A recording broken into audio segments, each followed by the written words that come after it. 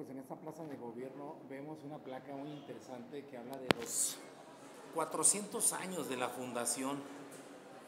400 años. ¿Y sabe qué año fue en el que se colocó esta placa? En 1976. Un año muy, eh, pues particularmente especial para mí. 1976, esta placa de los 400 años de la fundación de la ciudad de León, Guanajuato. Seguimos aquí, a través de Turismo México.